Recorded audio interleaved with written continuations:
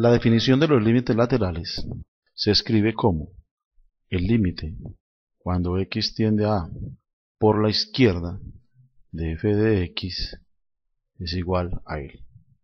Y decimos que el límite de f de x cuando x tiende a por la izquierda es igual a L si podemos aproximar los valores de f de x a L tanto como queramos, escogiendo una x lo suficientemente cerca de a, pero menor que a.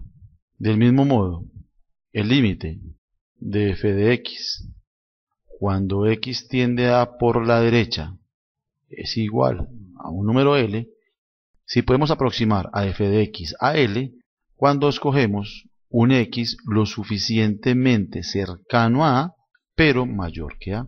Veamos esto con un ejemplo. Supongamos que queremos determinar el límite de x más 1 al cuadrado sobre x menos 1 cuando x tiende a 1. Retomando lo que acabamos de decir sobre los límites laterales, podemos decir que esto es igual al límite cuando x tiende a 1 por la izquierda de esta misma función, x más 1 al cuadrado sobre x menos 1.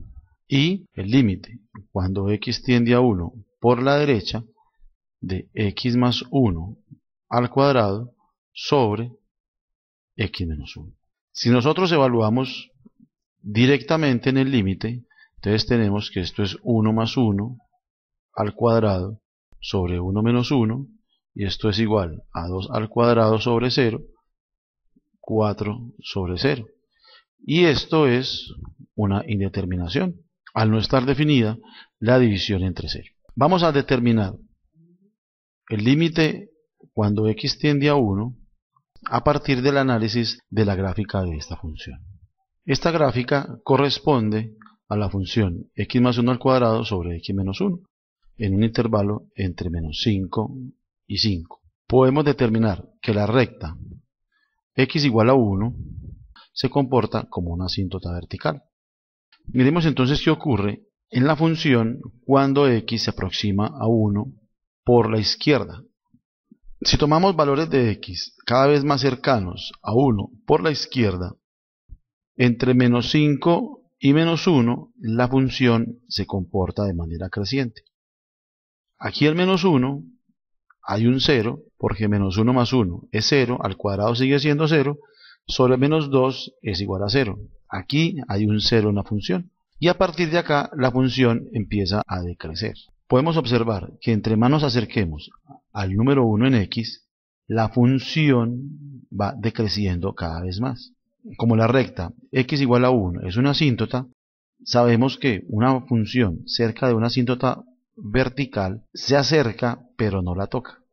O sea que esto puede decrecer infinitamente. De manera que podemos deducir que el límite de esta función cuando x se aproxima a 1 por la izquierda tiende a menos infinito.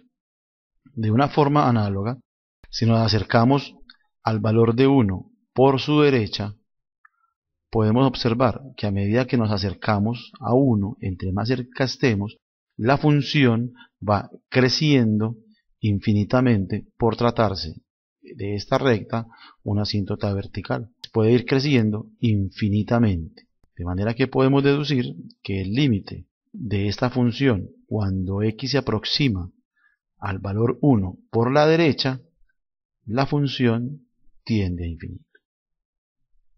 Espero haber sido lo suficientemente claro con ustedes para que puedan continuar con su estudio de los límites.